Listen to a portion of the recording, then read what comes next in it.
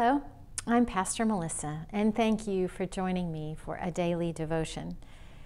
It's been such a week of exploring the abundant gifts of Jesus, who self identified as the resurrection and the life.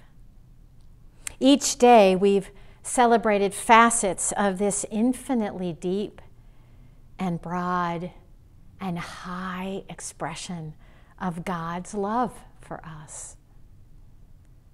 And you know, the blessings that we've experienced in this very moment is the generosity of God to offer gift after gift after gift so that we can enjoy the kingdom that Jesus came to establish. I don't have to wait until I die. We don't have to wait until heaven opens up or the second coming of Jesus. Nope. The moment that Jesus said, I am the resurrection and the life, you know, it was as if it was a moment extracted out of time and, and it reached deep into our history and far into our future with all of the fullness of the truth that is Jesus, the firstborn child of God, constantly restoring all of creation back to its original design. Good. And very good indeed. I feel best, I feel blessed because this is a faith statement for me. I do have the whole book of the Bible that tells me the stories and shares the doctrine and, and the theology, the eschatology, and the Christology that informs my faith. It has all the laws and the principles that guide my daily living, you know, when I remember to live by them, of course. But it all had to start with a kernel of faith before I was even willing to dig deeper and accept that what I believe is Jesus, the resurrection and the life. Where did that faith come from? I mean, my parents were faithful. Am I blessed because my parents believed? I don't think so.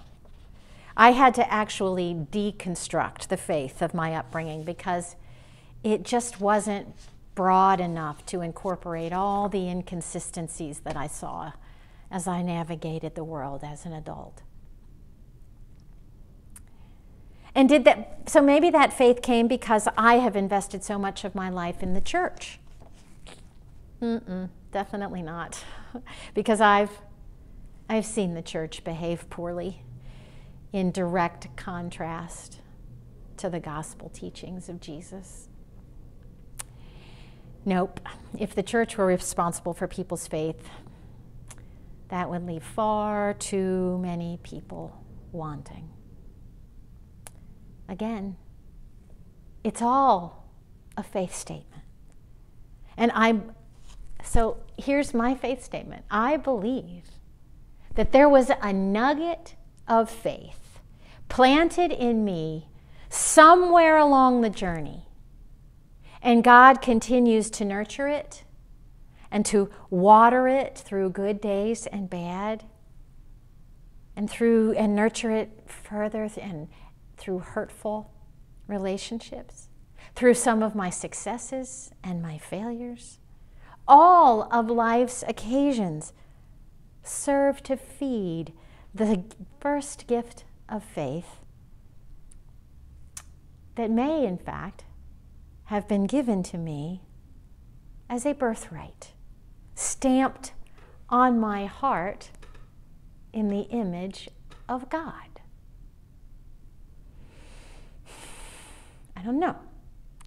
The writer of Galatians in chapter 2, verse 20 says, It is no longer I who live, but it is through Christ who lives in me.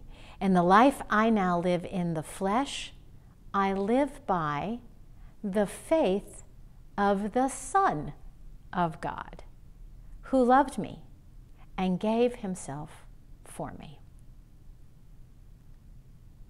Again, this is a faith statement. But I believe that the writer is saying, we receive the gift of Jesus' faith.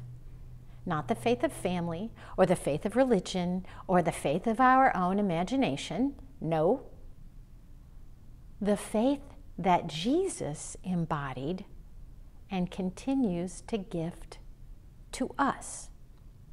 That is the faith by which our faith is informed. And it's all a faith statement. You choose to believe as God has given you the gift of faith. Will you pray with me? God, increase my faith.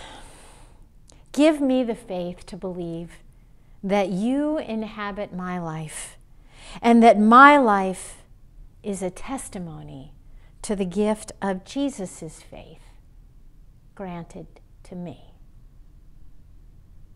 Amen.